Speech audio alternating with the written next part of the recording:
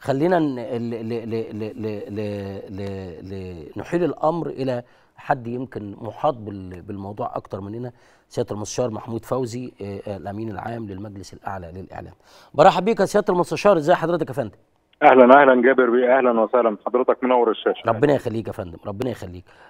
أنا مش يعني ال- الخبر هقوله لحضرتك تاني إن ذكرت وسائل إعلام تركية اليوم الجمعة أن السلطات التركية أغلقت الوصول إلى شبكة ديتش فيلا الألمانية وصوت أمريكا بسبب عدم وجود رخصه بث لديهما.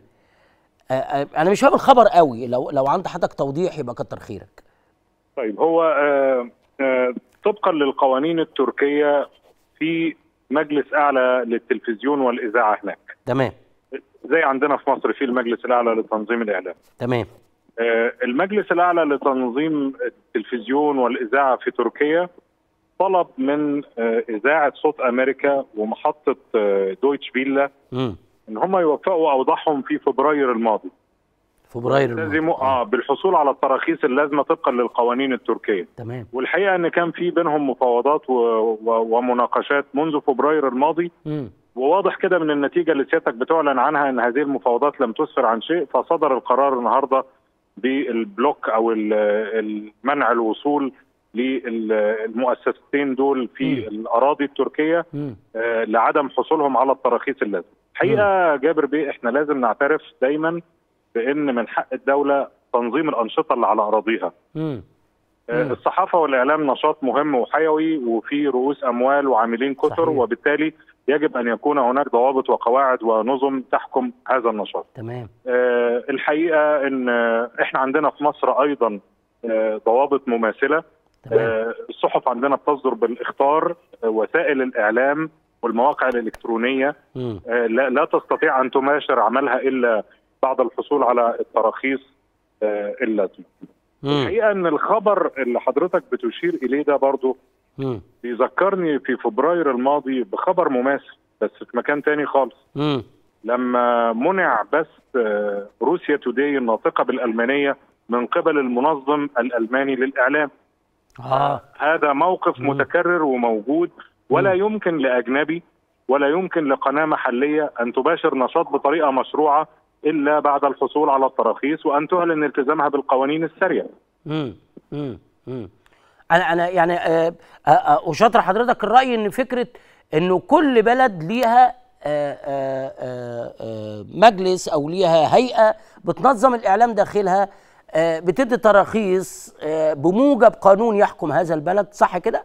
صحيح. و و و وللبلد الحرية الكاملة تمنح هذا ترخيصا وتمنع عن هذا الترخيص صح كده الحقيقة ان ان إن الحرية دي بتبقى م- منصوص عليها في القانون. صحيح أنت القانون بيقول لك مطلوب منك واحد اتنين تلاتة هتلتزم بواحد اتنين تلاتة مم. لو التزمت بدول أنا هديك الترخيص وهتباشر العمل بطريقة مشروعه. آه تمام الحقيقة إن في بعض وسائل الإعلام بتباشر عملها دون الحصول على ترخيص. وسائل الإعلام دي مع أول مشكلة بتحصل. بتثور ب- يعني إحنا مثلا في المجلس الأعلى لتنظيم الإعلام مم. بنبحث لما بيبقى في شكوى أو رصد لخبر معين. آه، في مخالفة للقوانين أو للأكواد والمعايير. أول حاجة بنشوفها هل هذه المؤسسة حاصلة على ترخيص. آه، ولا لا الحقيقة برضو إن أنا من خلال البرنامج آه، بتاع حضرتك لازم اكد إن القانون المصري المنظم للصحافة والإعلام التزم بالمعايير العالمية. و و و و ولم يعني ما فيش في أي آه، يعني قواعد.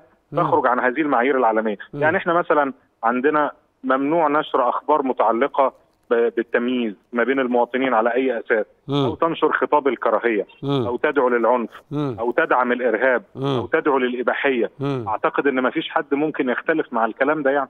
حقيقه يعني والغرض في النهاية من هذه المعايير أيوه أيوه والأكواد هو أيوه حماية المجتمع حماية المواطنين مم. حمايه حماية الراجل اللي شغال بطريقة مشروعة. كيف أميز ما بين الطريق المشروع والطريق غير المشروع إلا. من خلال الإعلان عن الالتزام بالقوانين.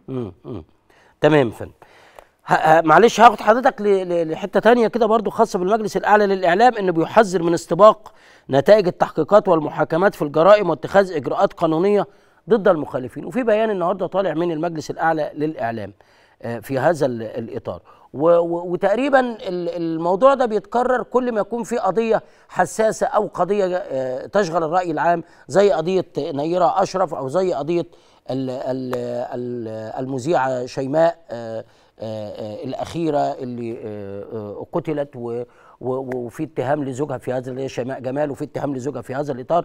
وبعض الناس يعني خليني برضو وحضرتك أكيد متابع أكتر مني في هذا الأمر إنه مجرد إنه طلعت شائعة إنه زوجها أو المتهم بقتلها آه، آه، سافر إلى الإمارات وسافر آه، خارج مصر آه، خرجت القنوات إياها قعدت تقول لك ما فيش قانون يحكم البلد ما فيش مؤسسات تحكم البلد ده بيحابوا فلان ده بيحابوا علان ده طالما.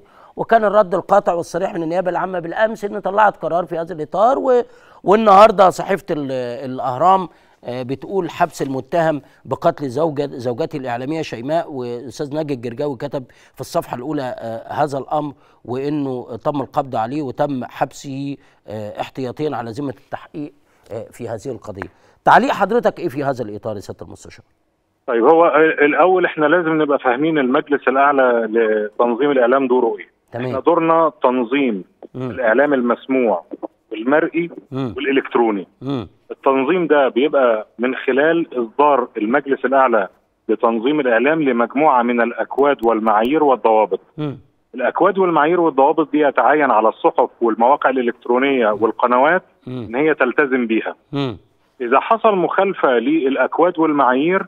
بيتم تطبيق لائحة الجزاءات والتدابير لمواجهة هذه المخالفات تمام الحقيقة إن إحنا عندنا مجموعة من الجزاءات يعني متدرجة بتواجه كل الحالات بتبدأ من لفت النظر وبتتدرج إلى أن تصل إلى الغلق الجزئي أو الكل بحسب بحسب جسامة المخالفة.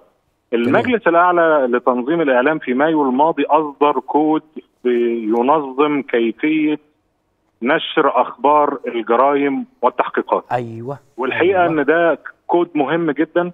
لأن أنت سيادتك صحفي كبير وعارف إن جزء كبير من عمل الصحافة والإعلام منصب على مثل هذه آه، الأخبار صحيح فالحقيقة المجلس عندما أصدر هذا الكود حذر من أو فرض التزامات على وسائل الإعلام والصحف رقم واحد إن هي ما تنقلش من مصادر مجهلة أو. ما تنقلش من ال social media. أو ما تستبقش نتائج التحقيقات. أو آه يعني آه تفترض أو تنحاز لرواية طرف على رواية طرف آخر. أو إن هي ما تحترمش قرارات النيابة العامة أو القضاء. في حظر النشر أو غيره. الكود ده لما صدر تلاحظ للمجلس في الفترة الأخيرة بمناسبة الواقعتين اللي سيادتك ذكرتهم مم. إن الحقيقة يعني يعني ما فيش التزام كبير فيهم يعني.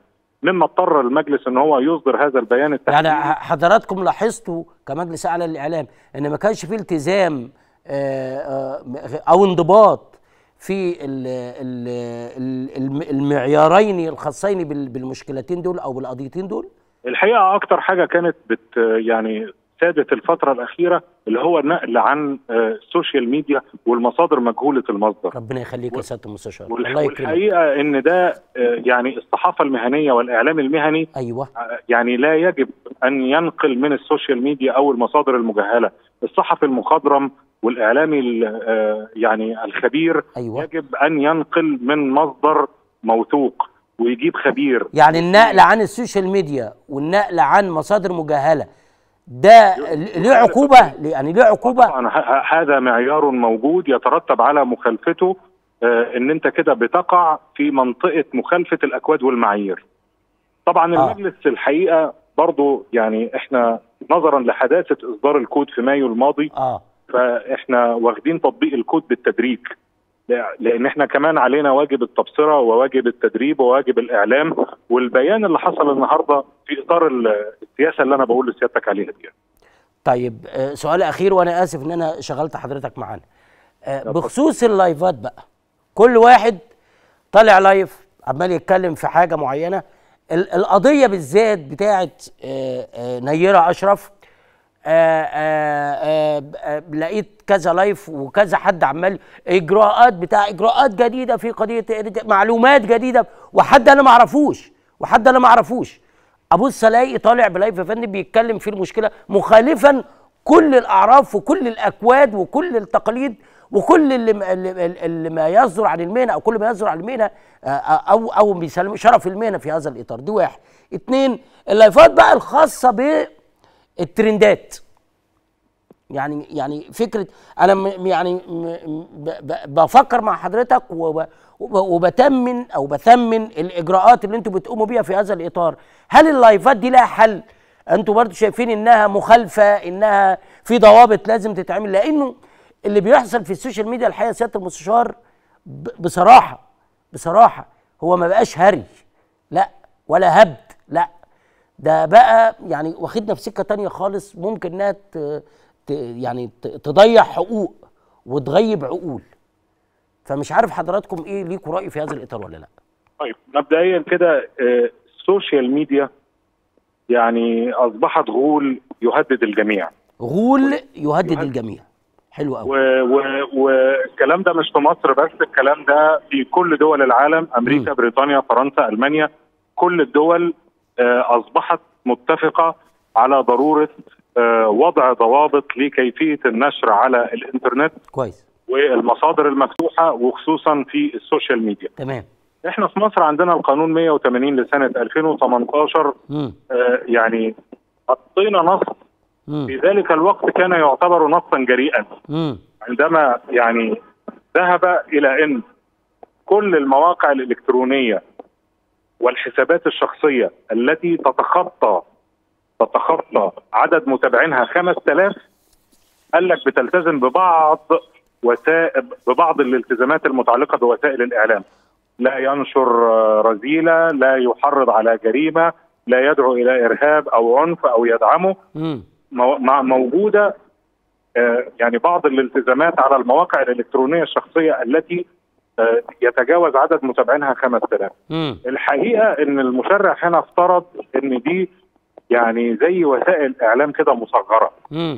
م. طيب نيجي في مسألة بقى البث المباشر أو اللايفات طبعا أنت عارف حضرتك إن الغرض الأساسي من البث البث هو الحصول على زيادة التفاعلات وزيادة. المشاهدات بما قد يحقق بعض الأرباح صح المالية صح الحقيقة إن الموضوع أصبح محتاج من المجلس الأعلى لتنظيم الإعلام إن هو يتدخل حتى في الحسابات التي تقل عن 5000 بالنسبة لمسألة البث المباشر لأن فوق ال 5000 متابع آه. مفيش مشكلة هو ملتزم وهتطبق عليه المعايير آه المشكلة كمان بقت دلوقتي في إيه؟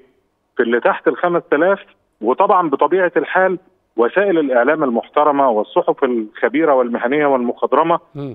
ما المفروض إن هي ما تنقلش من مصادر مجهلة أو إنها تنقل من ال social media ودي التزامات قانونية عندنا صريحة يعني. بس كويس ح... كويس حضرتك تفضلت إن الحسابات اللي أقل من 5000 متابع الحسابات دي حضرتك أصبح الحقيقة يتعين النظر لها ويتعين دراسة هذا الموضوع داخل المجلس الاعلى تنظيم الاعلام يعني ده نتيجة إن أنت شفتوا إن الحسابات دي اللي هي أقل من 5000 برضه بتشارك في تغييب الوعي بتشارك في آه، آه، عمل بلبلة داخل المجتمع بتنقل حاجات بره الإطار وبعض الناس ممكن تنقل عليها فبالتالي بيحصل شيء من ال- ال- العبث داخل المجتمع في قضية ما. صح كده ولا أنا لا الح- الح- الحقيقة إن أنت أحيانا قد تعكس صوره غير حقيقية الحادثة قد تكون فردية قد تكون غير متكررة ولكن أنت بهذا النشر بتدي صورة سيئة أو غير أو, غير حقيقية. آه. ان إن المسألة دي يعني مثلا آه، تعرض مثلا آه، سائح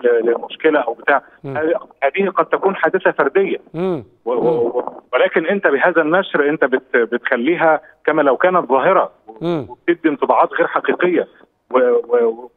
وبتدي تضليل أيضا للرأي العام. الحقيقة لا يعني أنا متفق تماما مع حضرتك يعني. يعني الحسابات اللي أقل من 5000 حضراتكم أو حضرتك بتقول إن يتعين على المجلس الأعلى للإعلام إنه يتدخل فيها وإنه يصوب من يجنح منها صح كده؟ نعم يجب دراسة هذا الوضع ووضع الضوابط اللازمة يعني في حدود ما نص عليه القانون وأكواد المجلس فعلا. آه لكن ده ما ما يعني دايما بتبقى المسألة يعني ملهاش علاقة بالحبس أو الغرامة أو أول اخره بي- الحساب تقريبا هو اللي بيتوقف لا لا لا يا فندم إحنا إحنا في الصحافة والإعلام امم لا عندنا حبس ولا عندنا الكلام ده كله تمام. إحنا عندنا آه، عقوبات إدارية صح متدرجة آه. بتبدأ من آه لا. وأيضا بتبقى لا بتبدأ من لفت النظر والتنبيه مم. وإعطاء الفرصة للت- للتصحيح مم. وإعطاء حق الرد و و و و و يعني الغرامات التي لا تت... الغرامات الإدارية التي لا تتجاوز حدها الأقصى 250 ألف 250 ألف جنيه آه ال- الغلق الجزئي أو الكلي موجود كأحد التدابير أو الجزاءات ولكن المجلس حكيم جدا في استخدام مثل هذه التدابير. أيوه أيوه, ولا رشيد. جدا رشيد لا لا لا جدا. بالعكس هو كمان آه. إحنا عاملين حسابنا برضو آه التدرج في التطبيق الله ينور على حضرتك يعني يعني الحقيقة. آه يعني بنبعت إنذار مرة واثنين وبننبه مرة واثنين.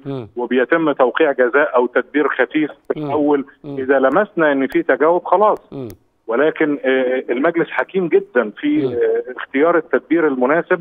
علشان كمان عامل حسابه يعني إن إن لسه المسألة يعني بتتطور شوية بشوية صحيح. مع الوقت يعني صحيح سؤال أخير رضا رضا ال ال الأمين العام للمجلس الأعلى للإعلام عن الوضع العام ككل دلوقتي. حضرتك شايفه إزاي؟ لأنه أنا كمان يعني أنا مبسوط اولا من الحوار يعني ورغم إن هو بالتليفون لكن أسعدني جدا. حضرتك حطيت نقط على الحروف في حاجات كتير جدا. ف ف فكل الشكر لحضرتك وكل الشكر لل للأدوات ال ال ال المحترمة اللي حضرتك بتتكلم بيها والدقة في الكلام. يعني حضرتك آه، يعني آه، الحقيقة ب- بتتكلم في إطار القانون المحترم ال- الملزم المنظم ال ال ال القانوني فأنا يعني كل الشكر لحضرتك في كل ال الكلام اللي أنت قلته في هذا الإطار آخد بقى رضا حضرتك عن المسألة عن ال ال ال ال المنظومة العامة ككل حاليا والحقيقة هذا السؤال آه، يعني لا يجب أن يوجه لي أنا تمام. أنا جزء من هذه المنظومة. وأنا يعني آه، أنا أتمنى أن حضرتك اللي تقول لنا يعني هل هذه المنظومة تعمل بكفاءة ولا لأ؟ وإحنا هنبقى سعداء بأي رأي نتلقاه وعندنا استعداد للتصويب والتطوير في أي وقت يعني. بشكرك سيادة المستشار محمود فوزي آه الأمين العام للمجلس الأعلى للإعلام. آه حلو حلو الكلام اللي تفضل بيه سيادة المستشار. و و والأمر يتعلق بالقانون فعلا يعني إحنا بنتكلم بقى في الحسابات أقل من 5000 على ال social media سواء فيسبوك أو ال ال على تويتر أو على آه، أي من المنصات الإلكترونية. بيتكلم بمنتهى الشفافية. إحنا إحنا لا نغلق لا نغلق ولا نحبس. خلاص يعني قال قالها كده. ال- الغلق بعيد عننا خالص الحبس بعيد عننا خالص. إحنا ده آخر حاجة بن بن بنلجأ إليها عندما يعني آه، لا يحترم آه، آه، صاحب ال ال الأمر أو لا, يحترم من تجاوز القانون المهني في هذا الإطار إذا ما احترمش الأكواد اللي إحنا كل شوية أو الإنذارات اللي كل شوية نقول له عليها وهو اخره لازم تلتزم بالكود المعين إذا ما التزمش بده فإحنا تدر- تدريجيا بنوصل معاه آه، لمدى معين بنخليه يلتزم في هذا الإطار. وبيتكلم على 250 ألف جنيه في في في هذا الأمر. آه شكرا سيادة المستشار محمود فوزي الأمين العام للمجلس الأعلى آه للإعلام.